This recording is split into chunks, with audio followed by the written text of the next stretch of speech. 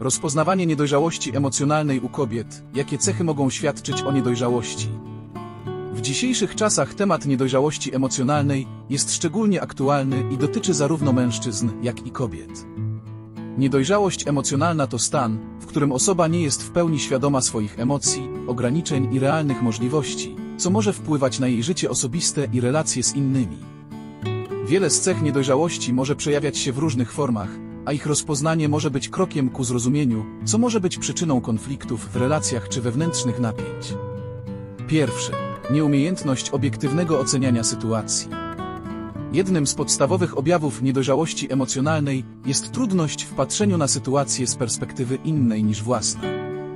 Kobieta, która nie potrafi wyjść poza swój punkt widzenia, często upiera się przy swoim zdaniu bez względu na fakty.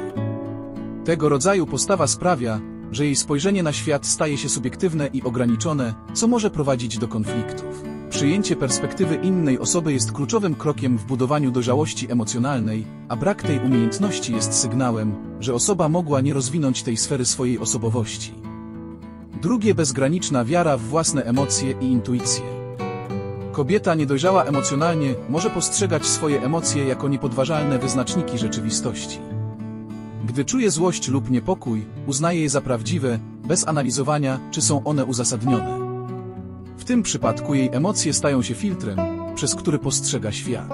Traktowanie emocji jako absolutu uniemożliwia otwartość na zmiany i zrozumienie perspektywy innych, co jest niezbędne do budowania zdrowych relacji. Trzecie rozchwianie emocjonalne. Rozchwianie emocjonalne, czyli skłonność do nagłych i skrajnych wahań nastroju, może być kolejnym objawem niedojrzałości emocjonalnej. To częsta cecha niedojrzałości, gdy osoba z jednej strony łatwo popada w stan euforii, a z drugiej w stan głębokiego smutku.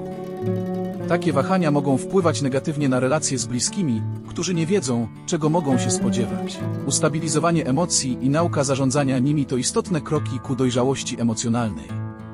Czwarta skłonność do pasywnej agresji. Niedojrzałość emocjonalna u kobiet może również przejawiać się w formie pasywnej agresji.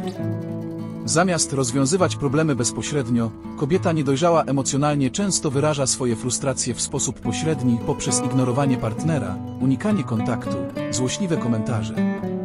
Pasują tu stwierdzenia w stylu domyśl się lub powinieneś wiedzieć. Takie zachowanie bywa mylące i destrukcyjne dla relacji, ponieważ nie prowadzi do rozwiązania problemów. Piąte. Chęć bycia w centrum uwagi. Kolejną cechą niedojrzałości jest silna potrzeba bycia w centrum uwagi. Kobieta niedojrzała emocjonalnie może czuć się nieszczęśliwa, gdy nie jest zauważana lub gdy inni nie skupiają się na niej. Często pragnie, aby inni skupiali się na jej potrzebach, nawet kosztem własnych. W zdrowych relacjach każda osoba powinna być w stanie czerpać radość z uwagi, jaką poświęca drugiej stronie, i nie powinna dążyć do ciągłego potwierdzania własnej wartości przez pochwały czy uwagę z zewnątrz. Szóste uzależnienie od zewnętrznej akceptacji. Niedojrzałość emocjonalna często sprawia, że kobieta jest zależna od akceptacji ze strony innych osób.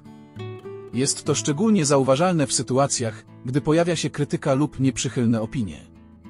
Brak wewnętrznego poczucia wartości i bezpieczeństwa sprawia, że kobieta może nadmiernie przejmować się opinią innych i próbować zadowalać ich kosztem własnych potrzeb.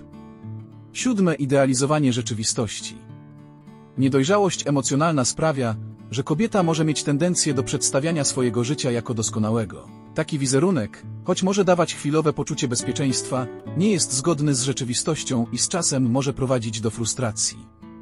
Osoba dojrzała potrafi zaakceptować swoje niedoskonałości oraz fakt, że w życiu zdarzają się trudności. Ósmy brak samowystarczalności. Kobieta niedojrzała emocjonalnie często nie czuje się kompletna sama w sobie i dąży do tego, aby ktoś dopełnił jej życie. Takie podejście sprawia, że uzależnia swoje szczęście od innych osób.